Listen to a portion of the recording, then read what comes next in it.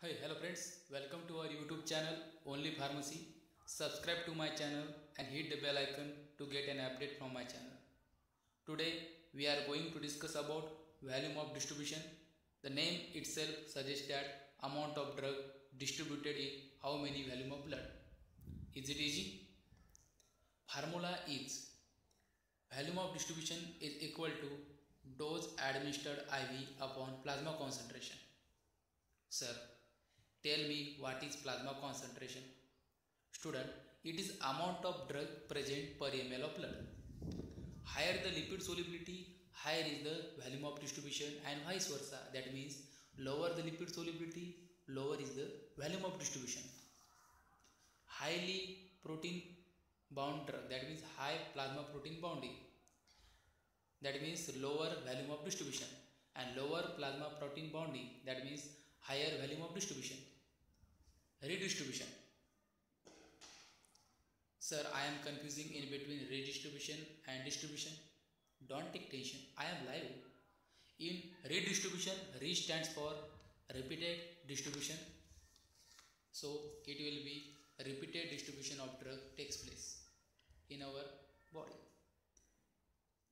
very high lipid solubility showing this phenomenon Example, diazepam and oxazepam. That means very high lipid soluble drugs are showing this phenomenon. For example, diazepam and oxazepam. Now, most important plasma protein bonding, which we must learn. High plasma protein bonding, lower volume of distribution, we are already seen about it. Don't get itchy. This is a very important question and this question was asked in GPAD examination. Low plasma protein bonding, higher volume of distribution. Acidic drug bind to the albumin and basic drug bind to the alpha 1 gly- uh, acid glycoprotein. See the above chart.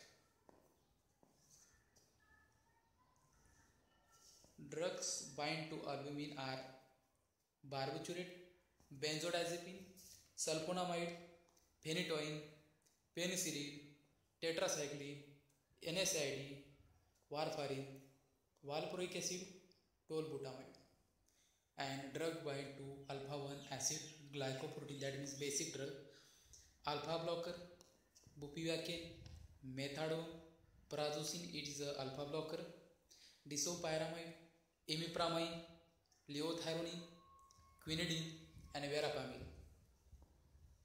okay in first bind to alumine that uh, NSAID means non-steroidal anti-inflammatory drugs.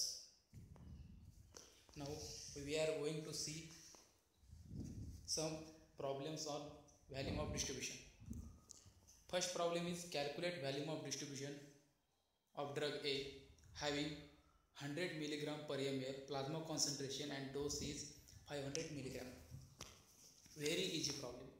Given data, what we given Plasma concentration 100 milligram per ml. Volume of distribution, which we have to calculate, and drug, that means dose of drug is 500 milligram. So volume of distribution formula is dose administered upon plasma concentration.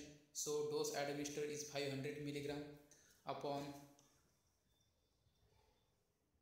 100 milligram per ml milligram milligram get cancelled ml goes upside and the answer will be 5 ml easy calculation don't need too much explanation